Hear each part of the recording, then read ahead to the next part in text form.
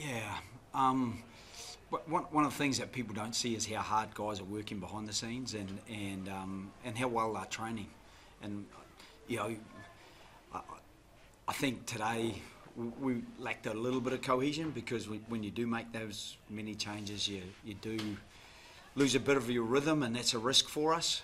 But um, if, if if we don't do it, then um, we're not quite sure where we sit with some of the guys in the squad, and you, and you don't know when you're going to lose someone if you've got someone in a particular position. So you, you've got to keep growing your your depth, I guess. Um, and you know, we've got a very short-term focus, long-term view, and I know that's a paradox, but it's a paradox that you almost have to employ, so that you best vaccinate against future injury or or uh, future changes or form, and at the same time, you offer opportunities to, to players who've demonstrated that they, uh, a number of them have been in the test arena before. You know, guys like Harry Wilson, he, he's coming back from injury. Len Ikitau coming back from injury. So, you know, it's it's not, um, you know, it's not like the first week where there were seven debutants.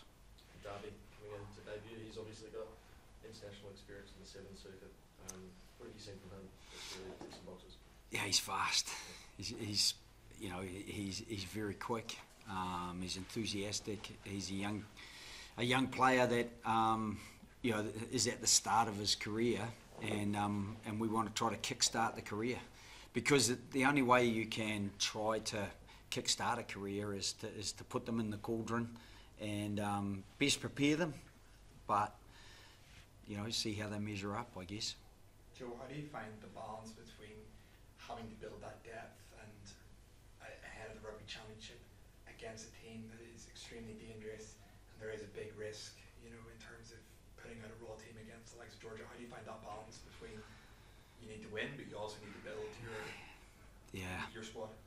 Yeah, it's, it's an um, impossible balance to get dead right because you're not sure till the team goes out there that you've um, you know you've you've done the right thing um, and, and we have huge respect for Georgia. We'd predict that they won't they won't have as many changes, anything like as many changes, and they will see uh, an opportunity, especially on the back of recent wins. Um, you know, Wales, Italy, um, last weekend against France.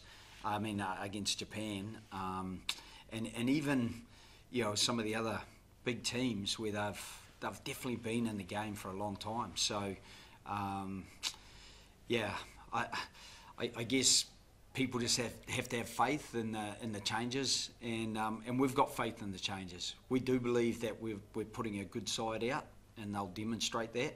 Um, but I'm sure the Georgians will have something to say about that.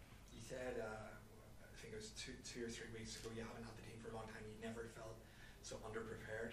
Are you feeling a bit more prepared now, even though you've only had three weeks?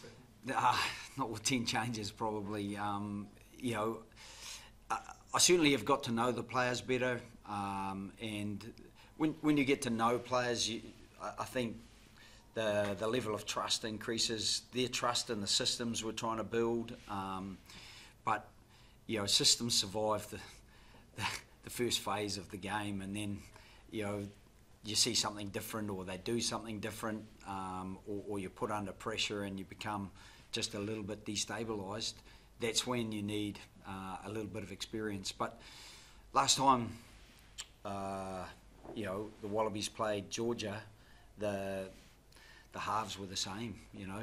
Um, so it's, it's not like they come in absolutely raw. So they bring a little bit of uh, knowledge around Georgia, even though they've had coaching changes a lot of their personnel are the same. So looking at that back row, um, Harry Wilson coming in, was there sort of temptation to sort of see him come back through the Reds against Wales, or what did you say to sort of make you feel like it's the right best best path of his progression? Well, I, I think he, he's been in camp with us for a couple of weeks, so um, you know, sending him back to, to the Reds doesn't really, you know, test him within our framework. Um, yep, we've we've got a couple of guys in the Reds that we will definitely be watching uh, on Friday, and uh, well, more than a couple, but uh, because he's been with us, uh, I think he's better to stay with us and, and, and play against Georgia. You're right. there was a degree of temptation to try to spread it a little bit um, thinner, but uh, with Liam Wright injured and uh, Langi Gleeson just having rolled his ankle, um, we felt it was better to, to keep uh, Harry with us. Can you just an update on Liam? I think last you spoke, he was sort of getting back to full training. Has there sort of just been a setback there, or what's the story? With With Liam. Oh, with Liam, yeah, uh, his his shoulders just um, taken a bit longer than we would have liked. So um, I don't know if he'll make it for the the, the Reds Tonga game, but um, he, he just wasn't in time for us uh, this week, and um, we'll, we'll just see how that pans out over the over the next few weeks. We obviously have to name a, another squad and in maybe two and a half weeks' time, and we'll that'll give us time to just have a look at what this squad has achieved, and then and then build on uh, whatever we feel we need to have for the for the TRC. Was all these changes were were they all voluntary? Were any enforced by injury at all? Yeah, I just um, Langi Gleeson obviously uh, was was injury, but there's there, there's a few with um, you know uh, a few knocks that, that we had. Um, you know, Andrew Kellaway took a took a bang uh, in the game, and uh, there were a couple of others.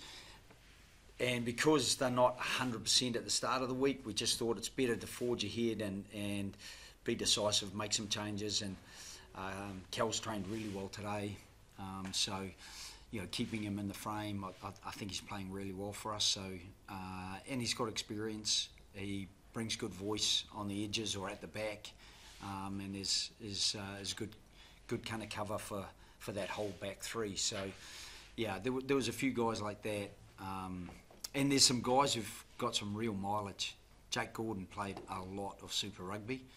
He played the first two tests against Wales and played quite big minutes in both those test matches. So um, to give Tate and, and Nick White an opportunity to share the minutes this, this week is is um, is part of that competitive drive between those three. Those three have been competing for the Wallaby Nine jersey for quite some time, and and they um, they are very good mates and they're very competitive individuals. So it's a yeah, it's a good balance. Just on Harry Wilson, he's had a couple of false starts since debuting in 2020.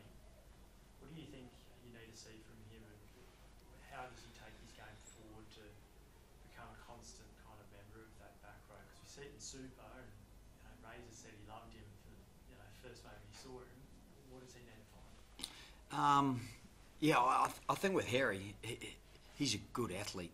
You know, for a big man, he's a good athlete, and so we, we want to see the athleticism.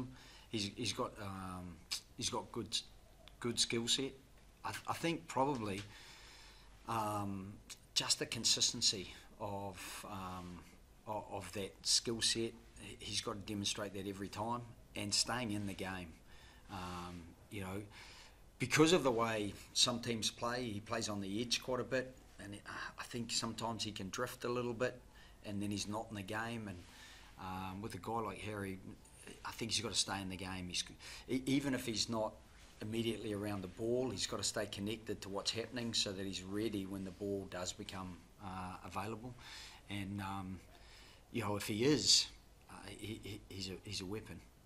There's a sense of probably nervousness in Australia because of all the changes and because of you know Florence when there was 11 changes and um, even slip ups in the past against Samoa and Scotland. Um, do you or do you think the team shares that little bit of unknown around it and, and kind of from an outside voice and coming just in? Do you feel any of that or not? Not, not really. I mean, um, oh, I think I said last week I'm always worried. So I, I, don't think that changes for me at all. I'm nervous about how things will pan out and, and how the game will pan out. Um, but we've got a lot of combinations in there. Uh, so you, you know you've got Billy Pollard having his first start, but Allan Alaalatoa is right right alongside him. Um, you know coming off the bench, you've got um, you know a, a, Reds front row, so that they know each other. So we've kind of try to keep a balance of, of players who are comfortable playing alongside each other, and and uh, I think Mike Cron's doing a really good job building our scrum, and that's not a, a sudden thing. That's that's a, a longer term thing, but um, i i it's going well so far, and I, I think our our, our line out um, has been really good. And I think we've had really good defensive pressure, and you know, in the second half against Wales, um, I think that was a pivotal part of the game that we we stole a few of their line outs. So building that pack, and then in the back.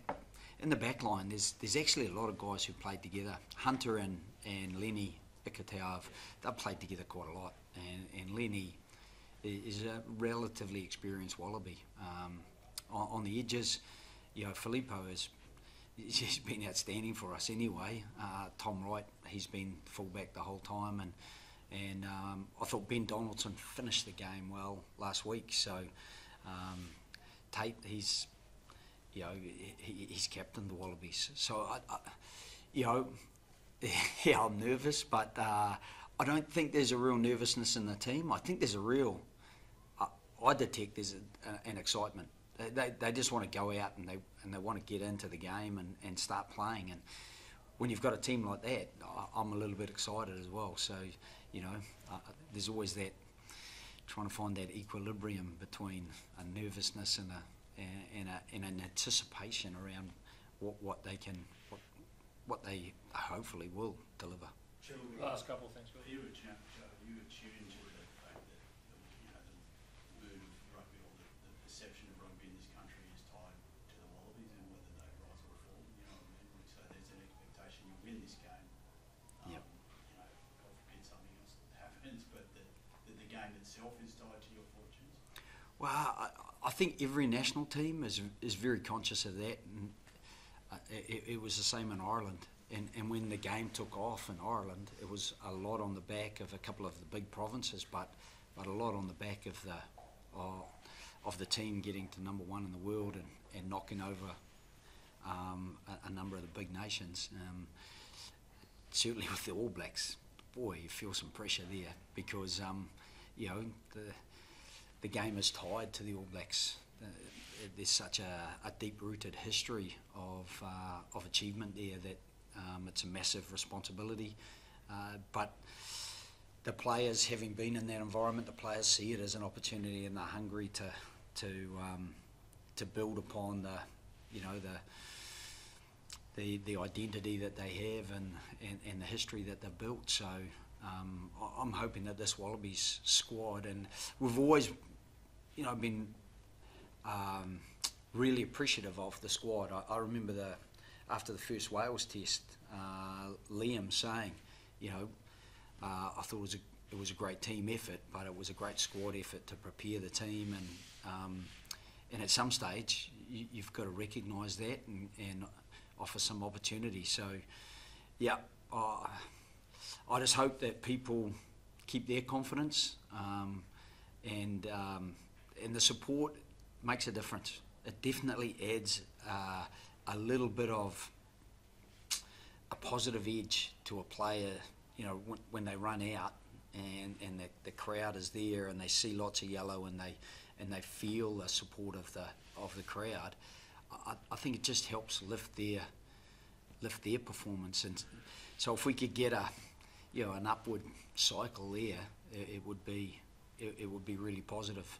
And we know that's the responsibility for that falls on us. We, we, we've got to deliver a decent performance. How, how much, how much time and effort have you put in this week into kind of more effectively counting the driving wheels of opposing teams there?